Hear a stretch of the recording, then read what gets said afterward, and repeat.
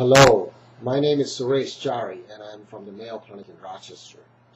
I've been asked by the uh, editors of Clinical Gastroenterology and Hepatology to briefly summarize our upcoming uh, paper called Diagnostic Strategy to Distinguish Autoimmune Pancreatitis from Pancreatic Cancer.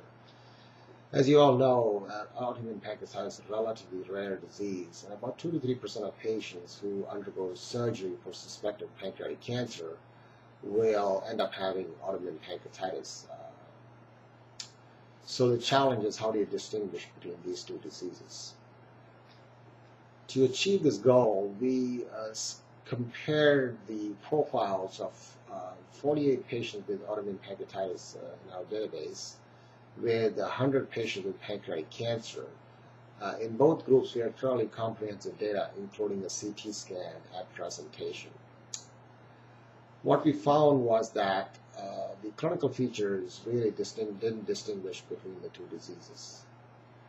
When we looked at the CT scans uh, of the uh, two groups, um, our radiologist was blinded to the clinical diagnosis um, identified uh, features uh, which uh, allowed us to classify the imaging features into uh, one uh, highly suggestive of AIP, number two was indeterminate, and the imaging group three was uh, highly suggestive of pancreatic cancer.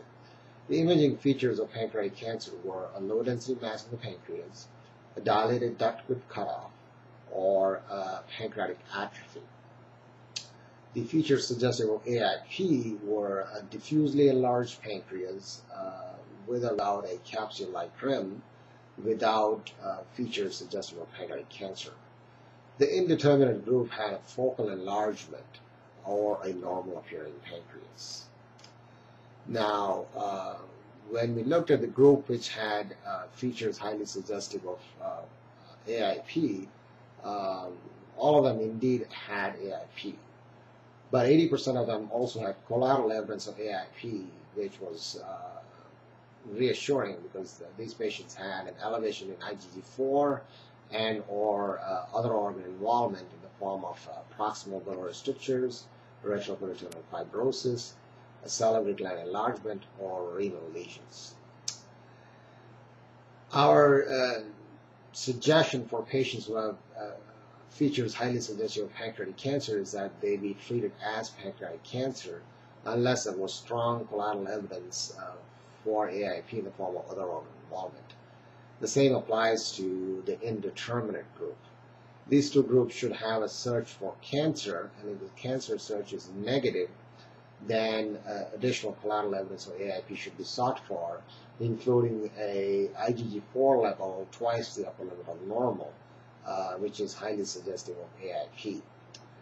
Uh, CA19-9 uh, more than 150 was highly suggestive of pancreatic cancer when done after decompression of the bile duct. Using CT scan, serum IgG4 levels, and other organ involvement, we could distinguish uh, AIP from pancreatic cancer and diagnose 70% of the, uh, of the AIPs. The other 30% uh, required either a core biopsy of the pancreas looking for characteristic histology, steroid trial, or, or, surgery. The manuscript will give detailed uh, indications for core biopsy and uh, for steroid trial. The caveat of this study is that this requires the clinician, the radiologist, the pathologist, and the surgeon to be familiar with the clinical features of both AIP and pancreatic cancer.